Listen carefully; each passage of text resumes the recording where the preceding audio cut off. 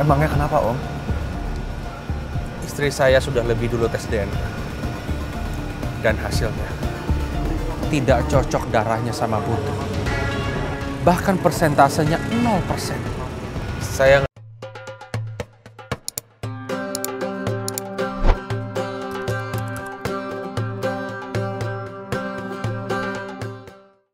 ini rumah sakit. Anu Pak Bos ini Pak Bos. Ini mukanya nggak ngenakin banget, pelet banget Pak Bos. Mukanya songong. Apa apa? Hmm.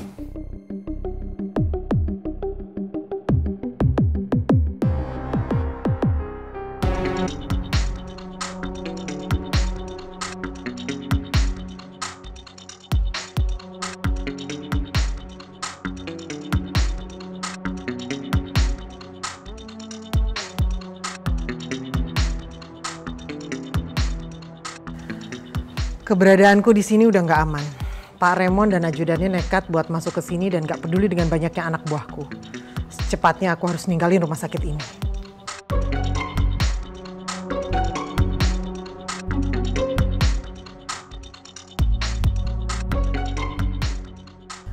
Salim lama banget sih manggil dokter aja.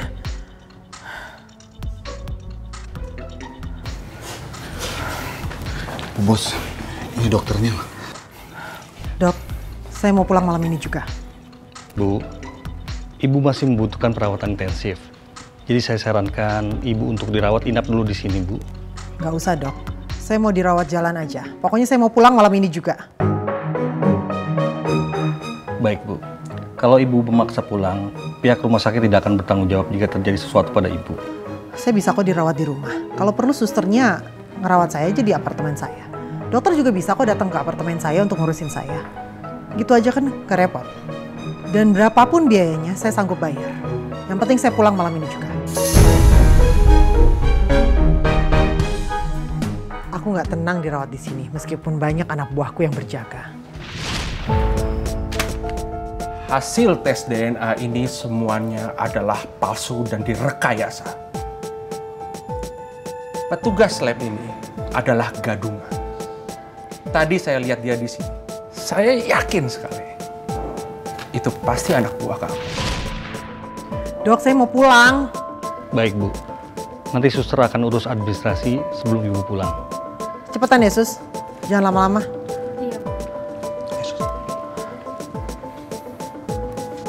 Raymond ternyata bukan lawan yang bisa aku remehin. Dia bisa menyelidiki kalau petugas lab itu anak buahku. Itu artinya, Raymond juga bisa menyelidiki kalau hasil tes DNA dan Putri itu palsu. Yang Om Raymond pegang itu, itu hasilnya palsu. Bisa dikatakan seperti itu, Pangeran. Karena saya tahu, petugas lab itu ternyata anak buahnya Bu Lisa. Dan 100% bisa saya pastikan gak ada hubungan darah antara Lisa dan Putri. Tidak ada sama sekali. Om, Om berarti itu artinya Putri bukan anak kandungnya Tante Lisa. Putri pasti seneng banget Om kalau denger ini. Om udah kasih tau ke Putri, karena kalau belum biar biar saya yang kasih tau ke Putri ya Om. Kalau menurut saya jangan dulu Pangeran. Masalahnya ini sangat rumit. Emangnya kenapa Om? Istri saya sudah lebih dulu tes DNA.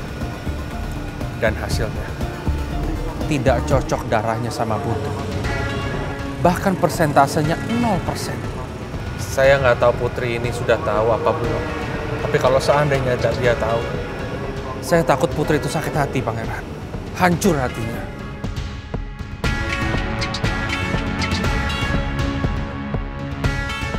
Jadi maksud Om Raymond, meskipun Putri bukan anak kandungnya Tante Lisa, tapi Putri juga bukan anak kandungnya Ibu Nawang.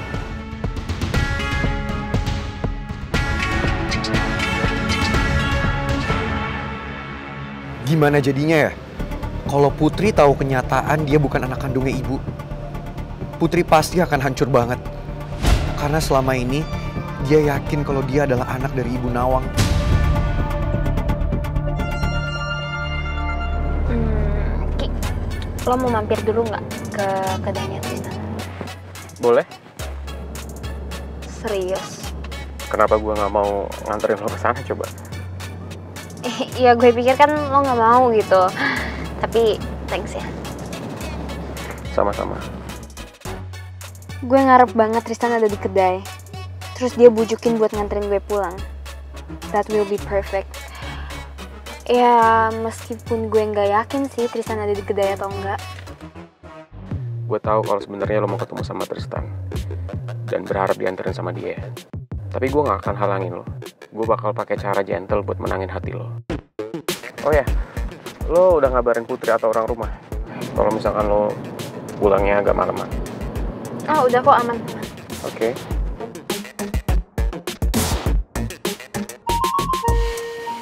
Nih, ice coffee latte special for you.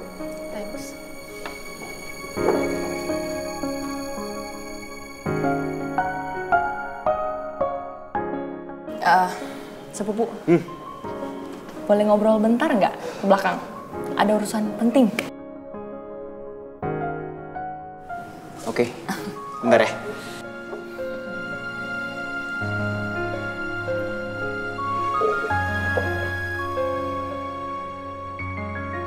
Kalau bukan atasan gue aja males banget gue sok ramah gini ke Maura. Gue juga males nih ikut campur urusan dia sama Tristan. Kayaknya istri kamu itu nggak suka ya sama saya. Apalagi dia ngeliat Tristan ngajak saya ke sini bukannya Mel. Kalau masalah itu sih saya no comment, Bu. Nah, diminum aja dulu.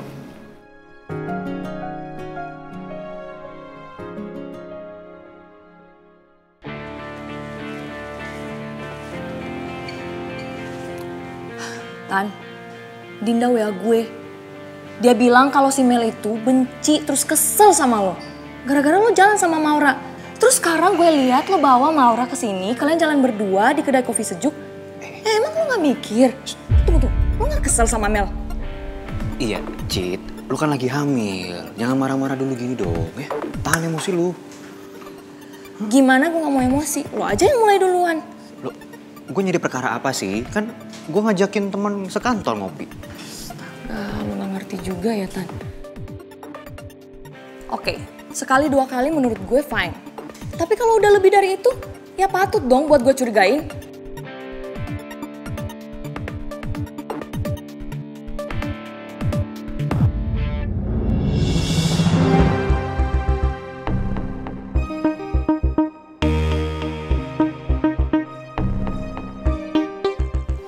Mel, Tuh, lo lihat tuh siapa yang datang.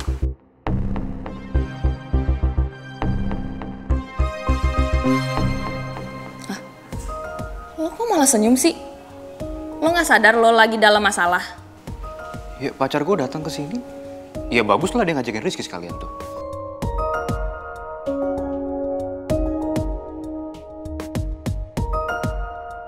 Rizky ngapain juga sih ke sini sama Mel?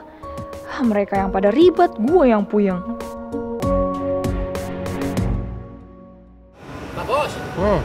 Pak Bos, Pangeran, dan Putri udah datang. Pak Bos, saya tak tunggu di mobil ya. Nggak kuat dingin nanti masuk angin loh. Mari, Non.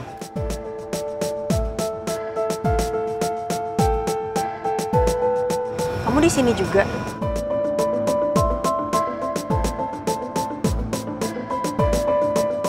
Eh, sayang.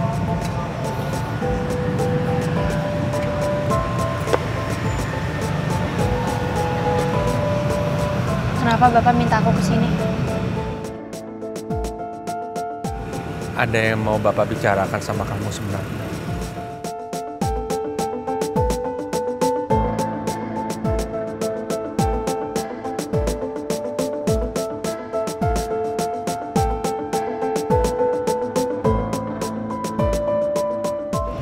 So, 100% bisa dipastikan kalau kamu nggak ada hubungan darah sama Lisa. Karena hasil tes DNA-nya ini rekayasa Lisa semua. Aku lega, Pak. Kalau ternyata benar aku ini bukan anak kandung Tante Lisa. Tapi aku juga tahu kalau aku ini bukan anak kandung ibu.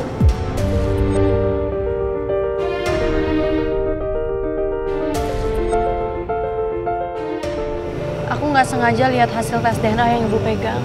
Dan di situ tertulis kalau aku sama ibu Nawang bukan ibu dan anak.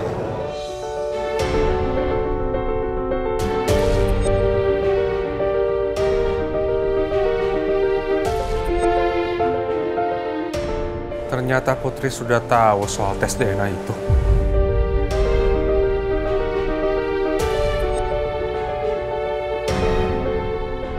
Putri pasti terpukul banget melihat kenyataan itu.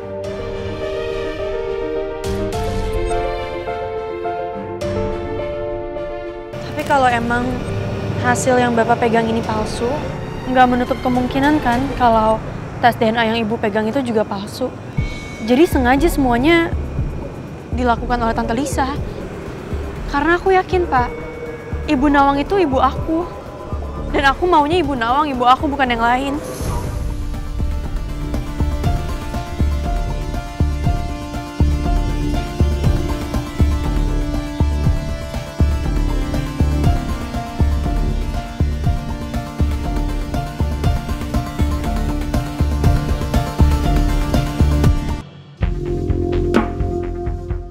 Aku pakai penutup rambut biar nggak ada orang yang bisa ambil rambutku. Aku harus antisipasi segala kemungkinan yang bisa saja terjadi. Dikira dengan Raymond bisa mengungkap kalau hasil tes DNA itu palsu, aku akan berhenti begitu saja. Aku masih punya banyak cara buat meyakinkan Putri kalau aku ini ibu kandungnya. Aku akan bikin dia tinggal sama aku. Kalau perlu, aku akan urus hak asuhku ke pengadilan. Ini semuanya aku lakukan karena aku ingin menghancurkan Nawang. Pelan-pelan ya.